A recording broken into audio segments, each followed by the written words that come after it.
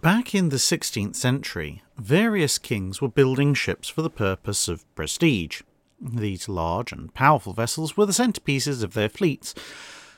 But this habit wasn't confined to kings. The larger and more powerful independent city states were also in the business of showing off.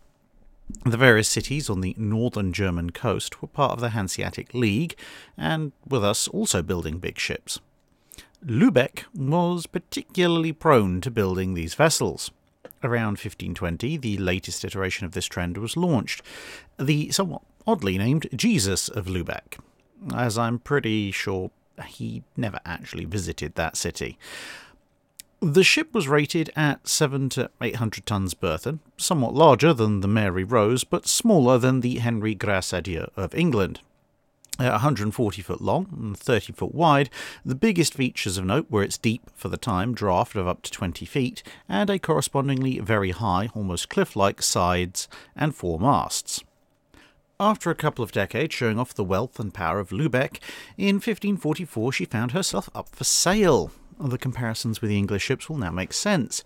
England under Henry VIII was at war with, drumroll please, France. Try not to be too shocked. However, France could outbuild the Royal Navy, and so Henry had been leasing various large Hanseatic ships the Struze of Danzig, Mary of Hamburg, Christopher of Bremen, Marianne, and the Jesus of Lubeck, and no prizes for guessing where most of them came from. All bar the Christopher had been with the English fleet for about a year, and the lease came with an option to buy the ship at the end of the period. Ideally, Henry actually wanted the Christopher of Bremen, but it wouldn't be ready for a while, needed a bit of refitting, and so his agent showed up with an offer for Lubeck's ship. This offer was accepted, and the ship duly sailed for England, where its high sides would allow it to be equipped with a full length gun deck consisting of a cannon, two demi cannon, a culverin, two demi culverins, and three sakers, all in bronze, plus 10 iron heavy guns and 32 anti personnel swivel guns. Whilst now at about the same displacement as the Mary Rose, which had been rebuilt in the intervening time, she was slightly less heavily armed, but that also made her much more stable, which was just as well as the next year the French fleet showed up off the Isle of Wight. The slightly inconclusive Battle of the Solent saw the French withdraw at the cost of the aforementioned Mary Rose, which the Jesus of Lubeck would then be employed in trying to raise, along with the Samson, by placing ropes underneath the wrecked ship at low tide, attached to the two floating ships.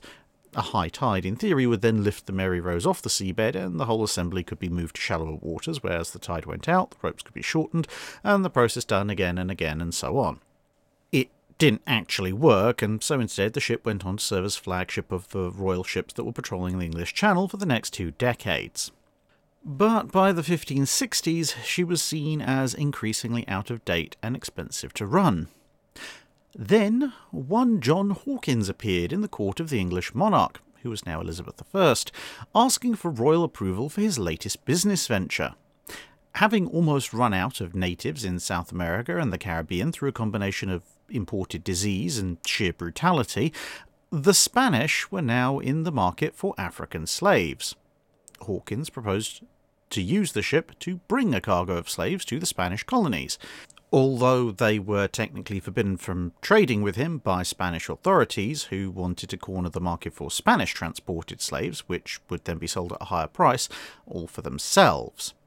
The informal arrangement with some of the Spanish colonial ports was for the English to turn up with a relatively powerful ship or ships to threaten the locals into doing business under duress, and just hope that a large Spanish fleet didn't pop up nearby. To aid with this, Hawkins cut down the ship's towering fore and aft castles to improve her seakeeping.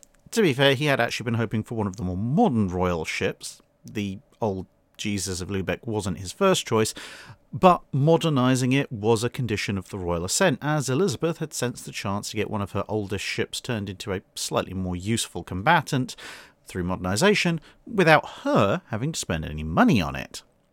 Along with the Solomon, Tiger, and Swallow, Hawkins set sail in late 1564 and completed a round trip to great profit, Hawkins' second success at the trade. In 1567, he therefore set out on a third mission, along with the Minion, William and John, Swallow, Angel, and Judith, the last of which was under the command of one Francis Drake.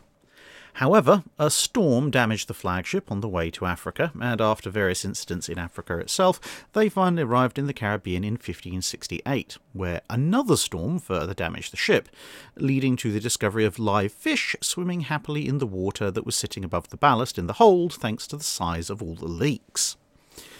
Eventually, fetching up in the port of San Juan de Ulua, things got considerably worse as a heavily armed Spanish treasure fleet showed up two days later. On the 23rd of September 1568, the Spanish launched a surprise attack on the English formation, with both sides moored in a long line. Outnumbered and outgunned, the Minion and Judith managed to cast free, the former picking up the survivors of the Jesus of Lubeck, which had put up a magnificent fight, actually destroying the two largest Spanish vessels and making it clear at the moorings itself.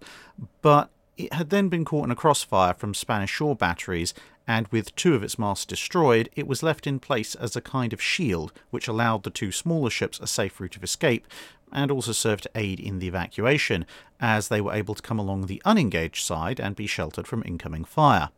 Battered, leaking, and settling slowly, the hulk would be examined, inventoried, stripped, and then sold off by the Spanish officers, after which it was probably broken up for timber, its final legacy being that its loss was the catalyst of the burning hatred that would drive Drake and Hawkins first into infuriate and then later to defeat the Spanish in later years.